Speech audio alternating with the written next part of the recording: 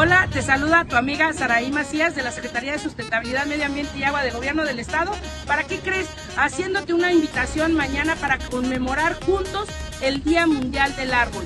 Gobierno del Estado, en conjunto con el municipio de Aguascalientes, mañana tendremos aquí en la Plaza de la Patria, aquí en el centro histórico, una entrega masiva, donación de árboles, plantas, composta, plántulas, talleres de microhuertos, de germinados, además de cómo plantar correctamente tu árbol, cuáles son los árboles que se adaptan perfectamente, que no levantan banquetas y todo, pero ven, mañana, Día Mundial del Árbol, Plaza de la Patria, viernes 28, a partir de las 10 de la mañana te esperamos para esta donación conmemorando el Día Mundial del Árbol. No faltes, te esperamos, Plaza Patria.